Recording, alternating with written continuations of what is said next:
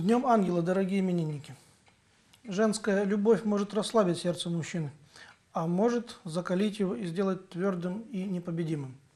Так, к примеру, спартанские матери, преодолевая свое естественное материнское чувство, хотели в первую очередь, чтобы дети их не просто были живы, но чтобы они были храбры и несгибаемы. Они отправляли сыновей своих на войну, давали им щит со словами «с ним или на нем». То есть или выиграй и вернись с почестью, или умри, но без позора, и будь принесен домой, как воин, павший в бою. Подобная твердость пугает сегодняшних расслабленных людей, и нужно знать, что на такое мужество были готовы не только язычники, дикие необузданные, но и христиане. Сегодня Святая Церковь совершает память святого Якова Рассеченного. Это персидский подвижник, имя его еврейского происхождения означает «борющийся», «запинающий».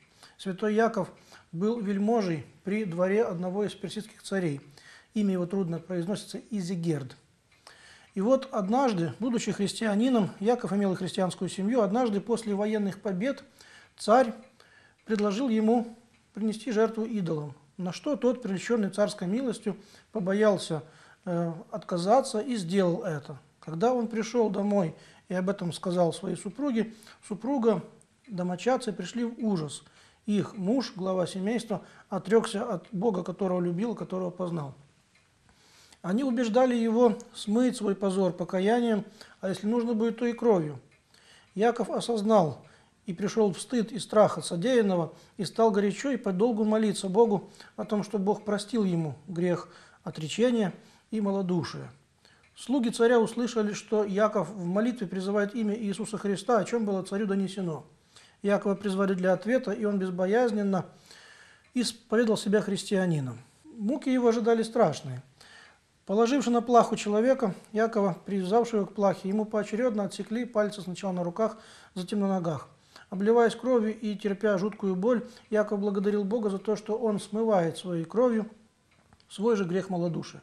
В конце концов, его, ему отсекли голову. Таким образом, дорогие братья и сестры, мы видим, что именно женская любовь, но любовь настоящая, не привязанная к земле, а привязанная к вечности, убедила Якова на такому мужественному и решительному поступку. Жизнь осмысливается, приобретает такие яркие очертания только лишь на фоне смерти. Нужно знать о том, что если у человека нет никого или ничего, за что или за кого человек готов умереть, то и жизнь его не имеет смысла. Подумайте об этом. Сегодня, кроме носящих имя Яков, мы поздравляем с Днем Ангела Всеволода, Николая и Романа. С Днем Ангела, дорогие именинники! Радуйтесь! Имена ваши написаны на небесах.